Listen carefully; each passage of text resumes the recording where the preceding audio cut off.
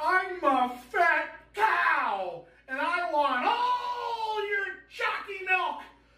I see you. I see you.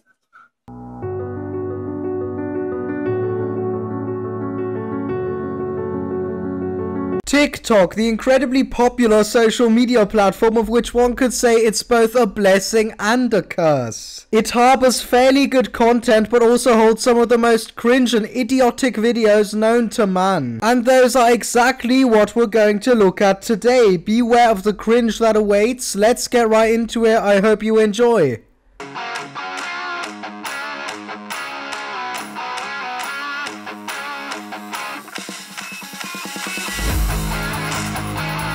Well, he's never gonna find a job ever again. I know you're supposed to be allowed to be yourself, but if that's you, perhaps you should think again. Surely in 2022, being yourself doesn't mean not acting your age anymore. Yes, you can play the illness card, but there's enough of these people who do shit like this for clout, and I think this man is one of them. Just look at this.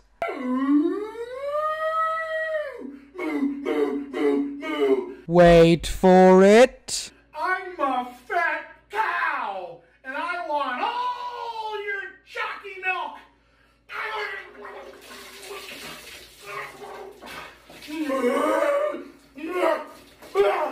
That's cold. Ah! It's freaking cold. This reminds me of what your friend in a movie would force you to do after you lose a bet. But no, this is all too real. And probably one of the fucking weirdest TikToks I've seen in a while. Thanks for giving me nightmares. But I want. I love your chocolate milk. I swallowed it. It's like, Too much milk. I've got the shits just from watching this. Ugh, I love chocolate milk. Yes, we know there's probably less wasteful and ridiculous ways to get that point across, though.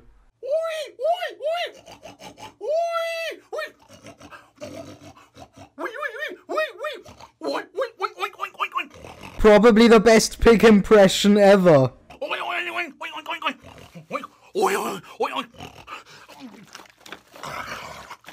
There's certainly no need for that costume and makeup since anyone who's seeing this would have called him a pig anyway, but you know what they say, the end justifies the means. If this is what he needs to do in order to afford the gastric bypass he's in dire need of, all the power to him, I say.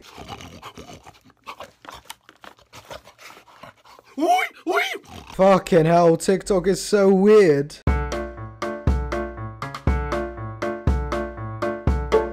This is actually so true and it applies almost entirely to Generation Z. Almost no other demographic of people would turn their trauma into a personality trait. A person whose trauma makes them funnier because they make use of it in correlation with dark humor doesn't feel the need to say that their trauma makes them funnier. It shows.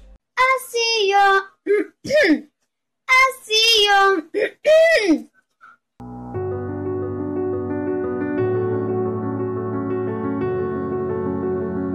If you also got goosebumps watching this, I want you to have this, cause you cringed just as I did. We'll get through this, I promise. Also, that part of the video was fucking sadder and unfunnier than this one. Honestly, this reminds me of the time before TikTok bought musical.ly. This was the sort of video every 14 year old girl would create to get attention.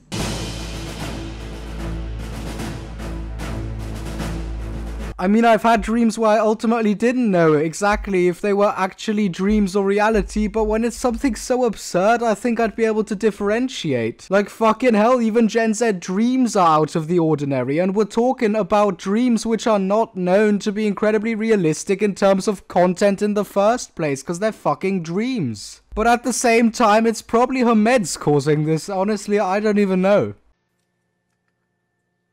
Real! Real! Real! Real!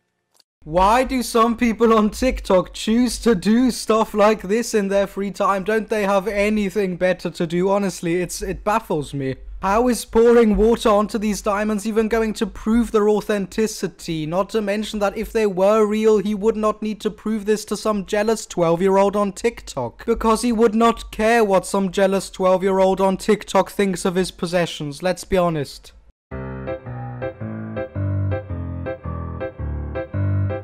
Well, there had to be that one person blaming someone's behavior on their star sign of all things, because what could possibly go wrong there? If you correlate someone's star sign with their behavior, please stop. You're not in second grade. If you don't stop, I urge you to unsubscribe from my channel because there is a minimum level of decency and critical thinking required to be a part of the Dry Gang. And the name of us as a community has absolutely nothing to do with our social skills or a certain sexual lack thereof, but is solely derived from my name, so don't start.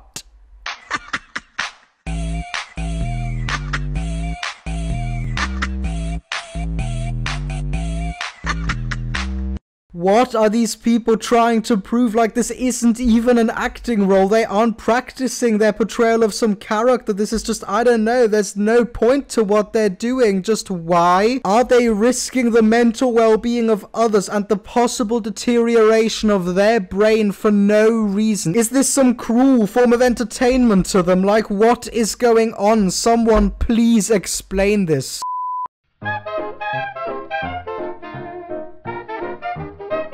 Or maybe I just want to date cisgender women. I mean, if it's solely about women with penises, I could not give less of a poo, but as soon as I'm involved, that's when I'm uncomfortable, obviously. I would only date biological women. I did not sign up for a balls. You can call me transphobic, I don't care. Does that mean I have a problem with trans people? No, not at all. I just wouldn't date a trans person.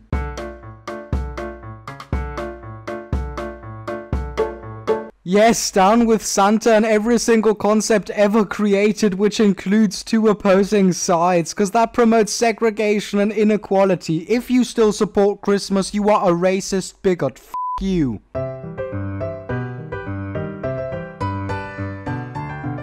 This is the only acceptable form of discrimination. Furries have become a very real threat, and I salute every single brave soldier who takes action against such vile creatures.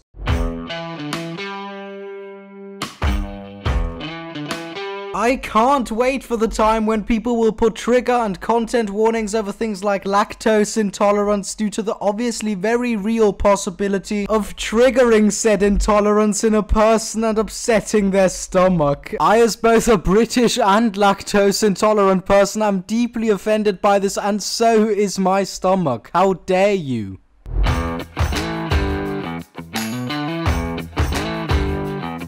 You see, I've long given up trying to find out whether something Gen Z does is serious or not. The best way to beat them is to treat all weird aspects of them as equally threatening. Now, as I'm sure most of my viewers are aware, you can't really smell yourself. That's called olfactory fatigue. Your sense of smell doesn't detect familiar odors after being exposed to them 24-7. It gets tired of it, so it stops. It doesn't matter if you smell of roses or not. And regardless of whether hygiene is a Western concept, why should it be rejected, aside from others noticing a person's lack of hygiene, which can lead to isolation and loneliness? It's important to maintain, because a total lack of personal promotes an environment for germs to grow and gastro as well as infectious diseases. I think a shower every two days is not too much to ask. No one wants to be ill after all, so please refrain from spewing such nonsense.